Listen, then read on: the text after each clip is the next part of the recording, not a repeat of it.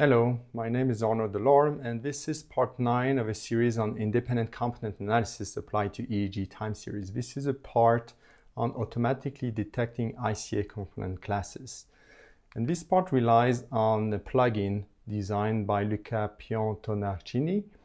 And this plugin is by default included in EEGLAB. So if you have installed EEGLAB, you should have it plugin automatically. And first, we're going to look a little bit at the website it designed because this is this was part of designing this plugin. So to access the website, you can go to labeling.ucsd.edu.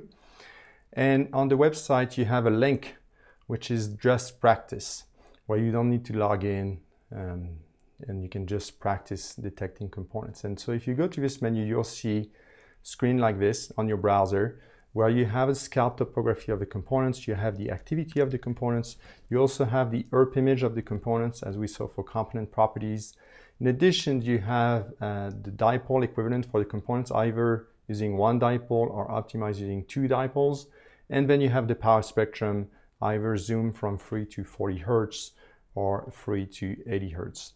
And on the bottom, you have classes. So you can select these classes. You can select brain, muscle, eyes, heart, line noise, and channel noise.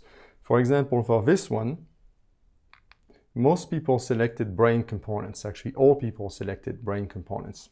So when you click, you see your selection and then you see what other people select. So can, this can help you figure out what kind of components you're looking at because it takes some training to recognize them. You press next and then you can see another components. You can see this one is related to eyes.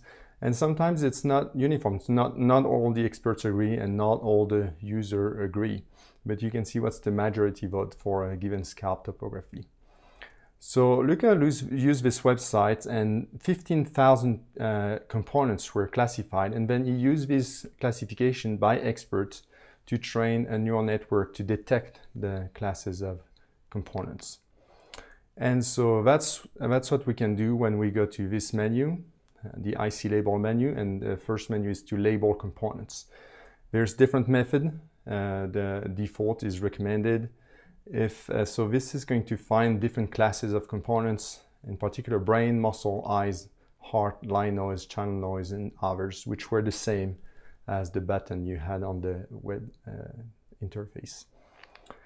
And once you've classified the components, just takes a few seconds, it's going to pop up another window to plot them. And you, when you press OK, you can see the components. And this is almost the same interface we saw in the previous presentation where you were classifying the components by hand.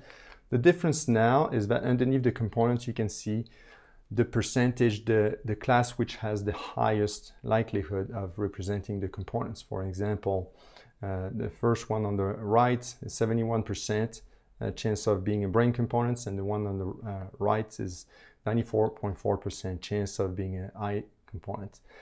And so the for each component, the percentage is spread across all the classes. So it means if you sum the uh, priority for all the classes, you get 100%. And this is conveniently stored in the EEG structure so you can access that information. Um, so the next thing you might want to do is to set some threshold. Let's say you want, in this case, you want to uh, label as artifact if it has a 90% chance or above to be in the muscle category, you want, to you want to label it as artifact. If you have a 90% chance or above to be in the eye uh, artifact category, you want to label it as artifact. So this is the second menu uh, you would use. And once you've done that, you can plot the components by map. So as if you were rejecting them by hands. And now you can see they are in red. So for example, here this eye blink was detected and it's been labeled uh, as uh, artifactual as if you had done it by hand. So that means that whenever you want to reject these components, it's going to be populating the list automatically or whenever you, you, whenever you want to do study analysis, these are going to be removed automatically if you select the right option, of course. So it is as if you had done it by hand.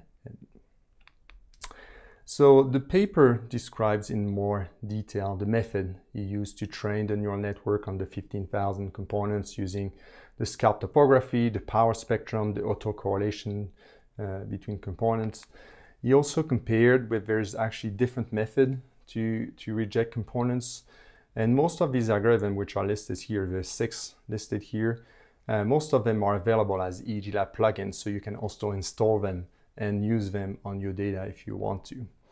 He claims that his, uh, his method has the most classes of components and also is one of the most uh, efficient. So thank you for your attention and I'll see you in the next presentation.